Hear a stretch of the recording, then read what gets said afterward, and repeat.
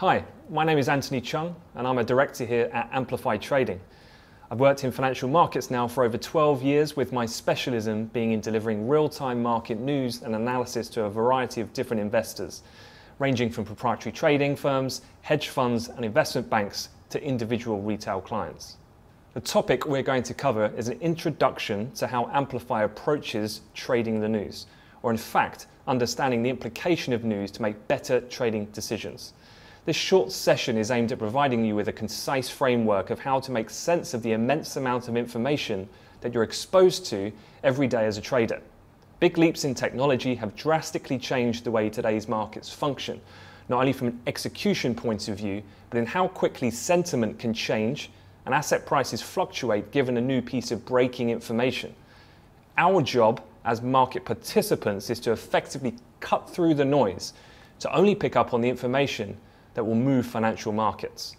Before we begin, I think it's important to stress that fundamental analysis should be seen as a complementary tool to your technical analysis, rather than one discipline over the other.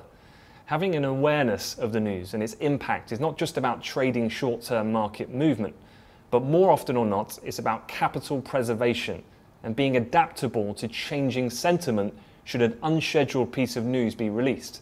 Also, from my experience of working with institutional clients for many years, the understanding of current economic climate and the appreciation of future direction of monetary policy are the core competencies to making more informed investment decisions.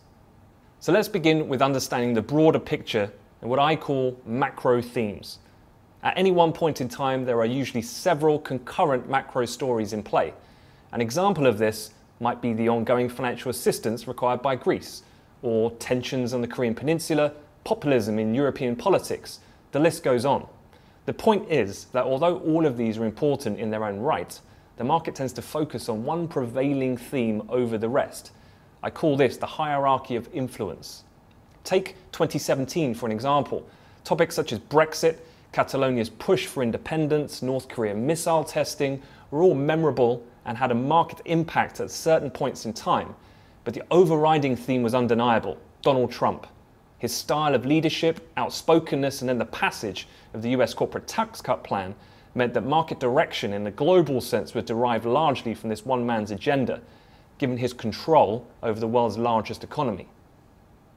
Assigning a hierarchy to the news each day is crucial, as without doing so would mean that you'd be inundated with new information 24 7 but by being selective and understanding what it is that the broader investment community is prioritizing is key.